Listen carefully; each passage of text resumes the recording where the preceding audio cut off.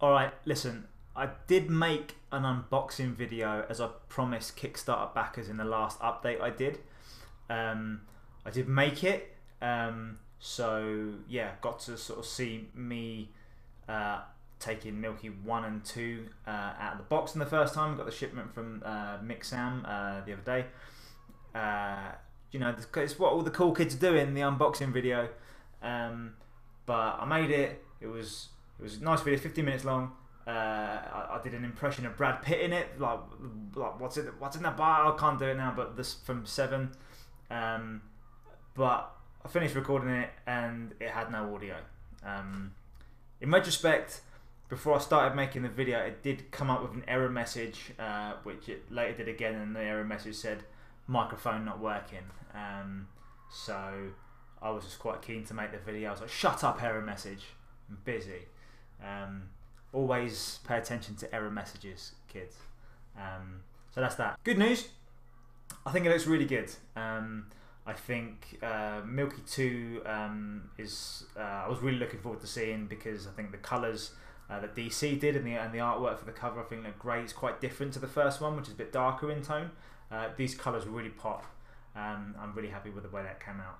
Know, the first the first printing of Milky Number One, uh, I think feels really quality, um, but the paper's just a little bit rigid. I found so it was hard to kind of flick through it, and I think not being able to flick through a comic book, uh, you got you got have that flickability.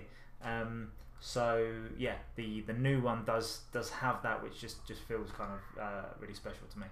Um, so really happy with the way that came out.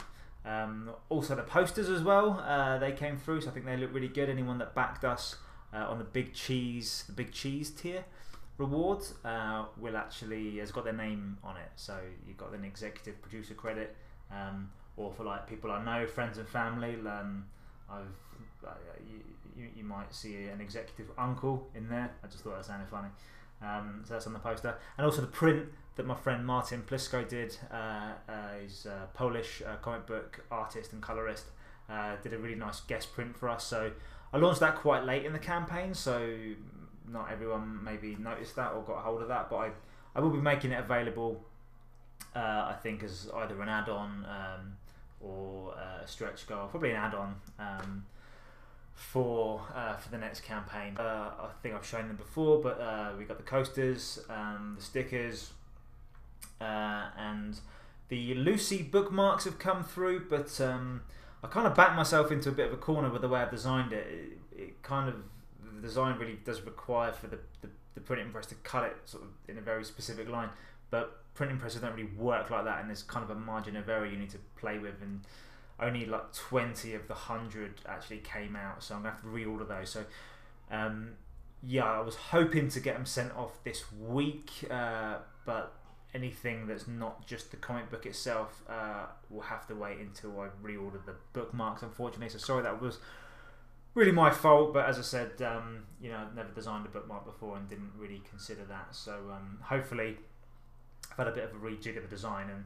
uh, they should come out a little bit better now. So, so that's it. The books are here. Um, I will be. Uh, so I've actually uh, literally Amazon just just turned up uh, with these sharpies. Uh, the uh, the first book I'd signed sort of on the inside cover with like a white gel pen because it was like a black page. Um, yeah, kind of came out, but doing a bit of research, these these sharpies, these um, metallic ones, are the best really for signing on like dark pages. So uh, quite looking forward to to signing my name with these bad boys. Um, so they're here. Apart from the bookmarks, we're all ready to rock. So I'm gonna get on with signing some stuff, packing some things into into the um, uh, into the little plastic wallet with the with the backing board. Uh, probably sending off the first shipment. I think I'll take them in batches because um, you know when I went to the post office before with a big stack of comic books, they kind of rolled their eyes at me.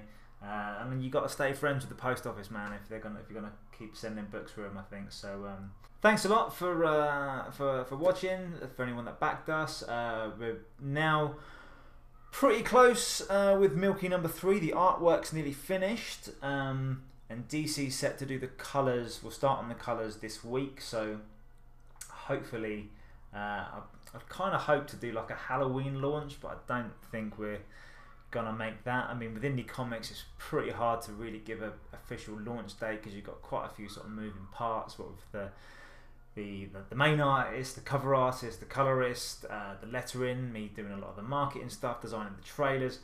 It's kind of a lot of yeah moving parts, um, and it's kind of hard to say. But this year for sure, um, I'd like to say November, but uh, it's not always that easy to to work it out. But it's coming very soon. It's, it's, it's looking great. The artwork's uh, looking awesome for this one. It's been more of an action-packed uh, issue as well, so really excited to get that one out there.